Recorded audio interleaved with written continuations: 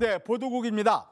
10여 년 전만 해도 타 지역으로 여행을 가려는 사람들에게 철도나 시외 버스는 친숙한 대중 이동 수단이었습니다.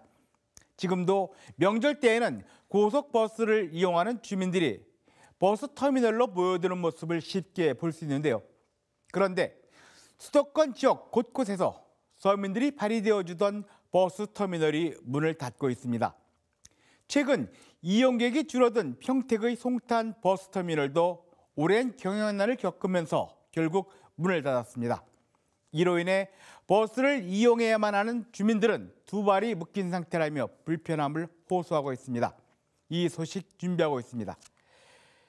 네, 매일같이 각 가정마다 쏟아져 나오는 생활 쓰레기 처리는 우리 인류의 최대 고민이기도 합니다. 그동안 수도권이 쓰레기를 처리해온 인천의 수도권 쓰레기 매립장은 내년부터 종료됩니다. 이에 따라 각 지방정부는 자체 해결 방법을 찾아야 하는 상황인데요.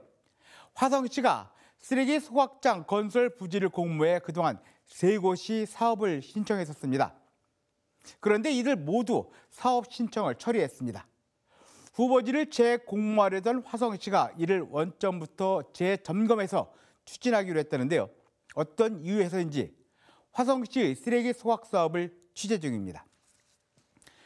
주민 여러분과 함께 만드는 방송 채널 BTV 뉴스는 우리 지역의 안전하고 쾌적한 환경과 주민 여러분의 권익이 보장되는 사회를 만들기 위해 오늘도 여러분과 함께하겠습니다. 주민 여러분의 적극적인 제보와 많은 시청 바랍니다.